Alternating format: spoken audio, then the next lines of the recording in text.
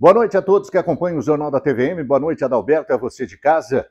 Quero falar com você, pai, você, mãe, você, aluno, sobre os fake news, boatos que estão circulando em redes sociais, em grupos de WhatsApp, sobre escolas.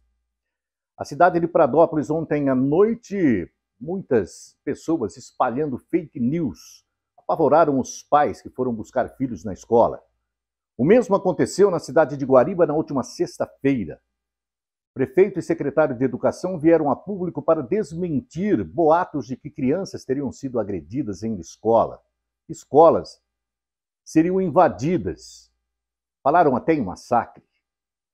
E o pior de tudo isso, muitas pessoas que recebem esse tipo de mensagem sem qualquer tipo de identificação acreditam e começam a compartilhar. Isso vira uma bola de neve. Em Matão, não é diferente. Está circulando por redes sociais, grupos de WhatsApp, mensagens, na maioria delas enviadas com voz feminina, sobre ataques em escolas. O que é fato e o que é boato em Matão?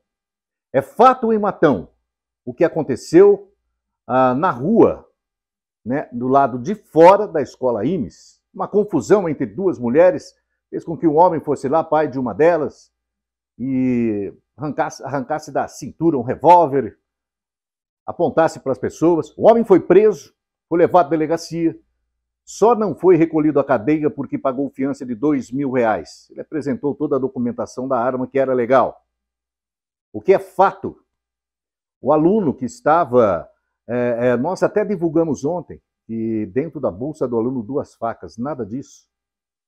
O que é boato, que aluno armado invadiu uma escola aqui é, em Matão, é boato. O aluno estuda na escola.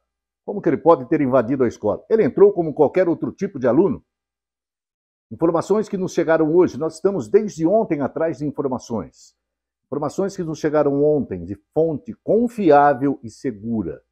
O aluno chegou, foi até a cozinha, tirou duas facas que tinha na bolsa e disse para a cozinheira: guarda essas facas para mim. Se alguém invadir a escola, eu vou defender a escola. Olha só! A polícia foi chamada, boletim de ocorrência foi feito, a região inteira, inclusive é, veículos de imprensa é, divulgando aluno armado com faca invade escola em Matão. Não houve invasão, não houve qualquer tipo de agressão, não houve qualquer tipo de ameaças. É preciso ter muito cuidado quando se divulga algum fato, principalmente envolvendo escola. Todos os pais querem o filho em segurança, todas as mães querem o filho em segurança. E a escola é segura. É claro que fatos acontecem, como aconteceu é, esse fato em São Paulo, do aluno esfaqueando e matando uma professora. Isso já aconteceu no Brasil mais do que se pensa. Acontece? Claro que sim. Pode acontecer, mas em Matão não está havendo nada, absolutamente nada. Nós conversamos com autoridades policiais sobre esse monte de boatos. Há escolas aqui em Matão que estão, inclusive, divulgando notas em suas redes sociais, desmentindo isso. Nem é preciso. Não dá para acreditar. É uma mensagem que chega em nosso celular sem a pessoa se identificar. Ou oh, aqui é o Beto Garcia, viu? Sabe o que vai acontecer? Isso, isso, isso e aquilo a que confirme de onde veio a informação antes de começar a compartilhar. Ou vai virar isso que está virando. Está mudando de cidades. Em uma cidade não muito longe daqui, uma aluna entrou na, na, no, nos dois banheiros, no masculino e feminino, e escreveu na parede: vai ter massacre aqui na escola. Descobriram quem é essa aluna. Sabe de onde ela tirou isso? De mensagens que recebeu do celular. Então, a internet hoje é muito boa, desde que bem utilizada. E nessa questão não está sendo bem utilizada. É um assunto difícil de falar, é um assunto difícil de estocar, tem que ter muito cuidado. Mas chega uma hora que não dá mais para ficar é, é, em silêncio. Nós temos que confiar na segurança que nós temos em Matão, na polícia que nós temos em Matão, professores, nos diretores. Sem alvoroço. Acompanhe o que seu filho faz, Acompanhe ele até a escola, visite a escola. É importante a participação dos pais na escola, para você conhecer o ambiente que seu filho vive, seu filho está.